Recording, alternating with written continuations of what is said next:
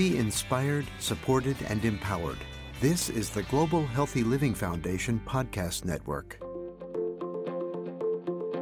Welcome to Let's Get Personal, the podcast where we dive into the real life experiences of living with rheumatoid arthritis, or RA, and get expert insights to help us better understand our health. I'm Shelley Fritz, and in this episode, we're focusing on rheumatoid factor, or RF, a key blood test used in the diagnosis and management of rheumatoid arthritis. Rheumatoid factor is an autoantibody that plays a role in the immune system response and is often associated with autoimmune conditions such as rheumatoid arthritis. While it may be commonly associated with RA, its presence or absence alone does not determine a diagnosis. Understanding what this test measures, how it is used by healthcare providers, and what it means for disease progression and treatment can help patients make more informed decisions about their care.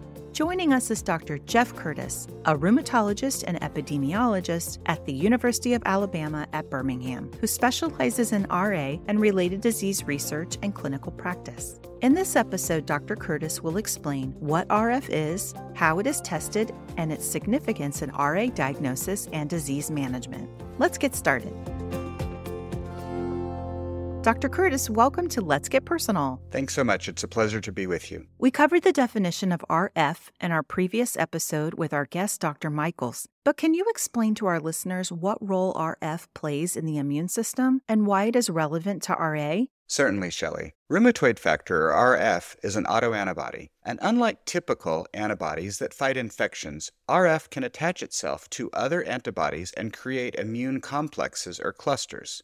Instead of fighting infections and threats coming from outside the human body, autoantibodies can interfere with or even attack the body's own defense system, turning on itself, so to speak, that can start inflammation, which then causes joint swelling and pain. If left uncontrolled, RA can eventually damage joints and sometimes even other organs like the lungs. While all RF is commonly associated with RA, it's not exclusive to RA. It can also appear in other autoimmune diseases, chronic infections, and uncommonly, even in some healthy individuals. Although not definitive, meaning we as clinicians do not rely only on the rheumatoid factor lab test to diagnose someone with RA or other diseases, a positive RF lab test supports an RA diagnosis when combined with other clinical signs and symptoms.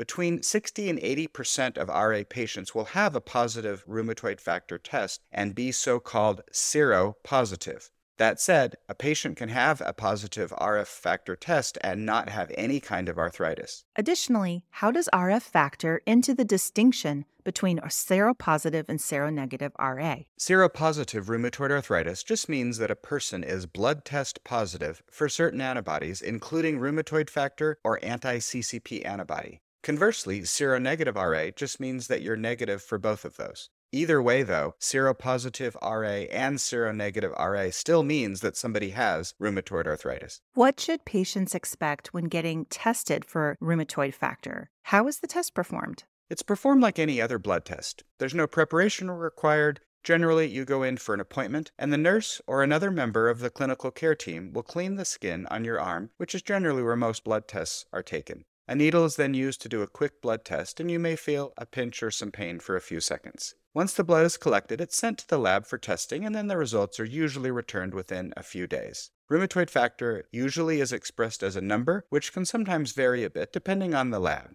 Your doctor is the best person to help explain what those numbers mean. As you stated, Dr. Curtis, RF test results usually come back with a number. So, how should patients interpret their rheumatoid factor levels? What do these numbers actually mean? Rheumatoid factor is usually measured in units per milliliter, and different labs may have somewhat different reference ranges.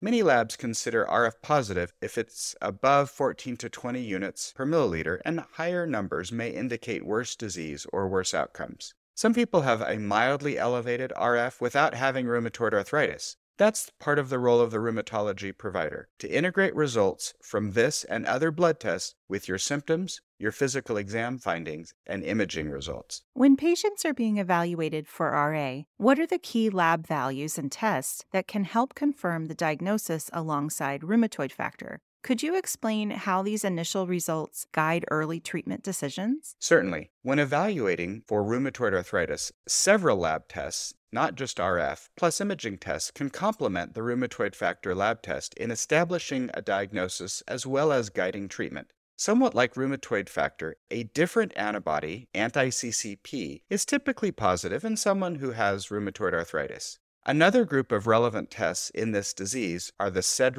or ESR, as well as C reactive protein or CRP. They are important to consider at the diagnostic as well as the prognostic stage. These two blood tests monitor levels of inflammation. That inflammation can spill out of the joints and into the bloodstream where we can measure it. Imaging is also important. X rays can be ordered to detect early signs of joint damage. However, ultrasound or MRIs of the joints may be used for more sensitive detection of inflammation and joint changes. X rays see bones and identify whether there has been damage, but ultrasound and MRI can show inflammation and show what's going on not just in bones but also in the lining of the joints, the so called synovium. Finally, most RA patients should undergo medication related lab test monitoring that may include a complete blood count or CBC, liver and kidney function tests, and lipid tests like cholesterol, as they can affect and be affected by various RA medications that you and your provider may be considering. These lab tests are also useful to monitor over time to avoid medication related side effects. Together, a combination of these tests provides a comprehensive picture that informs early treatment decisions, aiming to control inflammation quickly, prevent joint damage, and get patients on the best medication for them and use it in the most safe way. You mentioned earlier that some people without RA can have elevated RF levels. What are some non RA conditions that can cause a positive RF test? As I mentioned, the RF test is not specific to any one disease, which is why it can't be used by itself to make or break the diagnosis of rheumatoid arthritis or, frankly, any other condition. Like I also mentioned, I occasionally have patients that come to me with a positive rheumatoid factor blood test that have no signs and symptoms of arthritis whatsoever. You can't have rheumatoid arthritis if, in fact, you don't have arthritis. So, a blood test by itself does not a diagnosis make. That said, to answer your question, there are a number of other autoimmune diseases, like Sjogren's syndrome, where this can be positive. There's also some chronic infections, like hepatitis C, or even tuberculosis, that can turn a rheumatoid factor lab test positive. We also see age related increases. Rheumatoid factor can rise slightly as people get older. And a few percent of people who are healthy and have no medical problems or certainly don't even have arthritis may test positive for rheumatoid factor with no clear cause. One important thing to note is, is that family members of RA patients sometimes get tested. In someone like that who tests positive, they are at somewhat higher risk to later develop rheumatoid arthritis, even if they don't have symptoms or any type of joint problem yet. So, maintaining a relationship with a rheumatologist and somebody who is known to be rheumatoid factor positive and who is, for example, a family member of somebody with known rheumatoid arthritis might be important. And that's another issue to talk to your doctor about. For patients with RA, does RF status change how doctors approach treatment decisions? It certainly does, at least in some cases. Sometimes patients who have been rheumatoid factor negative may become positive over a period of time. If that happens, it's usually early in the course of disease, such that by the time somebody has had rheumatoid arthritis for more than a year, if they remain negative beyond a year, I usually don't retest after that. Some studies also suggest that rheumatoid factor positive RA may be more aggressive and have a higher risk of joint damage. Certain medications, like biologics, may work differently in RF positive versus RF negative patients. We have some data suggesting that a few medications may work better in patients who are RF positive.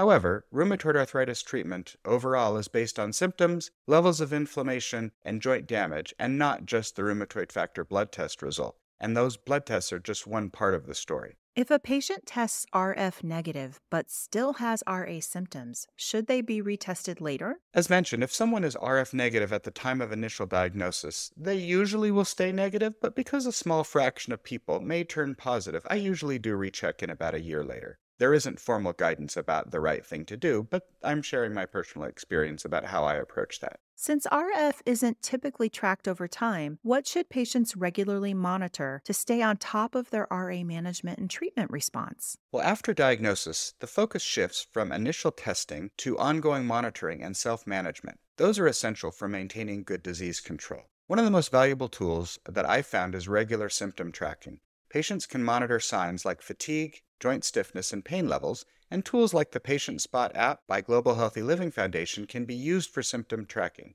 We've done quite a few projects where rheumatoid arthritis patients track their symptoms using the app over time. It's a great way to monitor and visualize how things are changing and to share it with your healthcare provider. In addition, inflammation markers like the SED rate and CRP are relevant blood tests for tracking disease activity over time. Those blood tests often provide insight into how well the treatment is controlling inflammation and do fluctuate up and down, often reasonably well correlated with somebody's blood levels of inflammation. The medication side effect monitoring is also crucial, but it will depend on which rheumatoid arthritis medicines are being used, and patients may need periodic blood work Again, it's a little bit hard to generalize because it does vary according to which medicine we're talking about. So it's something you should talk to your healthcare provider about how often you might need that kind of blood work monitoring. Ultimately, RA management is dynamic. Patients should stay engaged by tracking their health, attending regular follow up visits, and discussing any changes with your provider.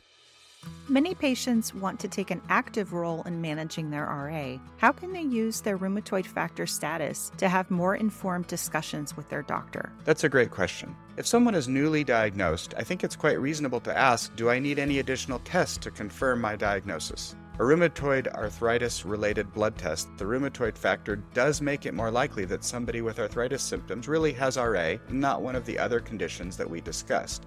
That said, 20 to 40% of RA patients don't test positive for rheumatoid factor, so being negative still allows for the possibility that somebody has or could develop rheumatoid arthritis. It's also reasonable to consider how your rheumatoid factor lab test status may affect your treatment options, and if you're already on treatment, to ask your healthcare provider what are the other factors that we need to monitor to assess how well my RA is controlled, and I've given you insights into several of them that may be useful. Remember, the rheumatoid factor lab test is just one piece of the puzzle, and patients should focus on their overall disease management. Thank you, Dr. Curtis, for helping us make sense of this important test and what it means for patients. Thank you for having me on the podcast. It was a pleasure to be with you.